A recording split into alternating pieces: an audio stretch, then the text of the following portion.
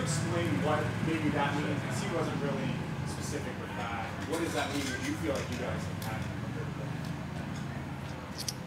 Yeah, Michael, I appreciate the question. And the thing is, is they're very subjective terms, right? So you guys are out here at practice every day.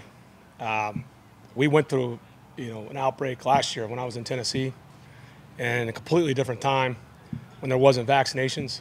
We're in a completely different environment right now. So, uh, you know, I'm not going to go in any more comments, but it's pretty obvious. You guys come out here every day for work, you would know. So I'll leave it at that. And I'm not going to get caught in some political and then what about game, you know, this or that. But For you, what, what you've seen on the field so far from your defensive line, how much can you really gauge what you maybe have there versus not? Because it's A, still too early, they're going against the same guys every day. Sure. Yeah, and all they can do is compete against the guys that are out in front of them, and that's you know ultimately why we practice and practice the way we do. We're trying to find out about about guys, you know, who who can respond, who's who can sustain. Um, that's why this week this week is so important in training camp. You know, you everybody's jacked up for the first day, and then the grind starts to wear, and you start to really find out about guys, especially inside. I mean, those guys are, you know, they're going to be banged up. It's training camp. Know, nobody's going to feel 100%, but uh, you really do start to separate, and then it's just part of the evaluation process. And then you get into the preseason game next week, and then we'll go down to Miami and practice against them. That'll be refreshing for a lot of guys. And then hopefully by the end, after we play Cleveland, we can make the best decision. This may be an odd question, but when you're looking at running backs, how much do you look at their acceleration point and how they run at an acceleration?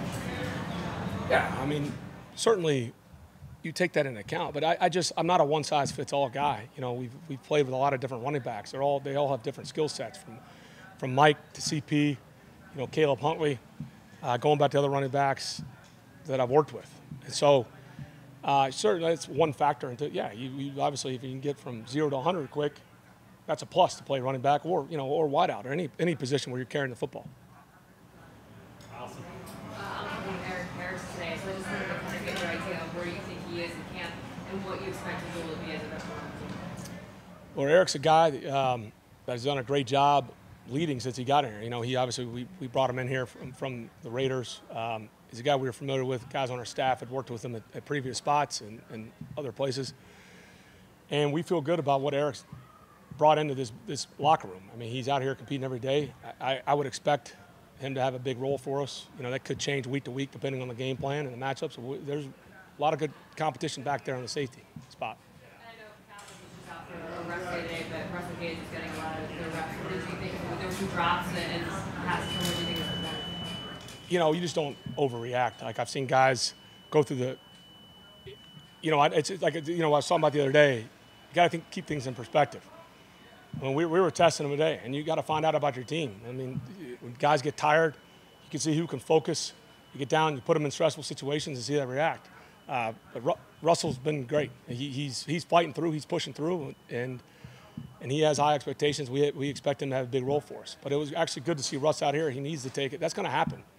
Um, certain weeks that you know you're not going to have everybody up, and you got to have different guys step up. And Oz and Russ and Christian Blake and Tajae. I, will even give Darby credit. Those guys are out there competing. They're fighting. Home team. My favorite thing, home team. saw um, uh, AJ Terrell and uh, Kyle Pitts kind of get some work in towards the end. Uh, is that a function of what you'd like to see some ones on ones a little bit more? Or is that just a function of where you were in practice today as you were? Really both, you know. And there's some things that we try to set up logistically with the with the practice to make sure you're getting that. I mean, we, we feel good about how AJ's been playing out here, and it's good for him to see, and it's good for Kyle, really. So we feel you need to get the best guys trying to match up against each other and find out about them. So, you know, I can go out there and we can spot throw, and, and me or Rags can go out there and cover them. It's not the guys that are going to be playing in the NFL. I can promise you that.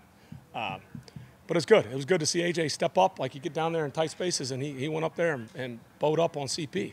CP is not small either. That, that to me was impressive to see from AJ today as well. George on your right. The uh, competition at right tackle and left guard, how's that shaping up for you? Where do you see this? It's still really early. You know, we when we expect Kaleb to come back, come in there and compete, and then assess, assess where everybody's at. Uh, You know, Willie Beavers continues to show up every day. Spriggs, you know, we brought him in here. Those guys are in there competing, and it's only fair. So we, we got to assess whenever Kaleb comes back and he's out to get through a practice, where Jalen's at. And once we do, whether we try to move him back inside or we keep him over there and say, all right, you and Kaleb fight it. We got to find the best five and the best combination.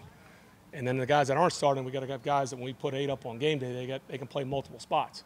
Uh, Drew Dalman's another guy. You know, he's been a pleasant surprise over there playing guard as well. So we knew he could play center, and then you find out that he he's doing a nice job at guard. But then it's so early, and I say that because because here we are, right, week two in the training camp, and we have a long way to go, and it, will separate itself by the end of this camp. For? Yeah, I, I don't get in the prediction business, and I don't say that to be evasive. It's just we feel good about where he's at. Um, but my experience too, you go, we put him on PUP for a reason. I feel like he's doing well, and we evaluate him every day, and then we'll see. You know, it'll be week to week, so you can put that down if you want, week to week. So. Coach, I know uh, depth is big at every spot, mm-hmm. uh, especially at the quarterback spot. How do you like what AJ and Felipe have done as far as all the situational stuff you guys have done? How do you see those guys progress throughout this? Yeah, that, that'll be uh, that'll be fun to watch where they are when we get out in the preseason games. They're both going to play for us in the preseason, and they'll know going into that, you know, how many reps they're going to get, or you know what quarter they'll take, or, or a half. Um, yeah, and AJ, and everything we've thrown at them, I, am very pleased with both those guys. But again, until we see them play in a game, and you know that, uh, I'll remain the, the, judgment for that. So, Michael, I've give you a day off tomorrow. So, what's Saturday? it's getting soft. so, what's Saturday going to look like, uh, scrimmage-wise? Like, how are you planning on breaking that up? Because obviously we have never seen you do that. Yeah, I mean you know, with the scrimmage, we're excited to go down to the stadium. We'll have fans in there. It'll be cool for a lot of us to go down there and just, it'll be good for the staff too. We haven't coached in that stadium yet. So we got to work through, and the preseason helps. We get two home preseason game. And, and so it's just bigger for the staff. Obviously, the players, it'll be a, a practice. I mean, we're not going to tackle. We're going to have a scrimmage. I mean, there'll be a lot of team and situational stuff. And then we got to assess where we're at, uh, you know, in terms of injury-wise, personnel, and how many reps. But we'll have a good practice down there Saturday. Yeah, correct. Allison? Just kind of following up on what you were talking to Shockley. So we were saying they kind of get a half. Will Matt like just kind of get a series in and out, or not all the preseason? What are you thinking? Uh, we'll probably make that decision mid ne- middle of next week, uh, where Matt's at, how many throws we think he needs, and, and it'll be a collaborative effort there. Um, but however it shakes out, AJ and Felipe are both going to get to play. It's the only way that those guys, and we, you can simulate everything in practice, but until you can really get hit – and the timing. And like I said, I've been pleased with them. And they, every, it's all these guys. Like we can only control the practice settings, and that's why I'm excited about the preseason because we'll get to see those guys play. Um, apologies if you already asked this, um, but you said yesterday that you could really see the maturity of this rookie class. Where do you see that? Is it in the, you know, when y'all are in the room together, when they're out here? What are some examples of that? Yeah, it's a good question. So it's how they handle day to day. You know, this is all foreign to them. Um, you know, a lot of these guys come from good programs. They've, they've been coached well before, but it's just so different. There's the, the, stuff that you have to deal with in college football we don't have to deal with. So they're not going to class. We're not having meetings about study hall and all the other things that go on with being a, a college athlete. So come here, this is their job. Sometimes it takes some guys uh, a little while to understand that this is a job and this is what it's about. And it's just a really mature class, um, all those guys. So I've been pleased, you know, uh, Drew Dalman, Ade, Avery, um, Caleb Huntley are like our undrafted class. It's, they've been fun to work with. I mean, they're rookies. Don't get me wrong. I'm not sitting here anointing anybody, but so far I've been pleased with that. Anything else? Fine. Yeah, Jalen Graham been put on the uh, IL. You know, what, what, are his spirits like, and you know, just you know, how he's doing the situation? Well, Jalen, uh, Jaeden's a guy that's put a lot into this. Um, and you hate you hate it for guys, you know, and anybody you, you coach. It's uh, it's very emotional.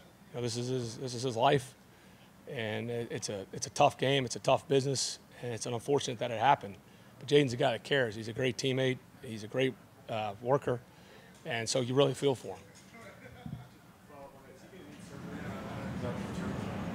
I didn't go to med school, Michael, but I, I would. Know, he, he probably will. Yeah. Appreciate it, guys.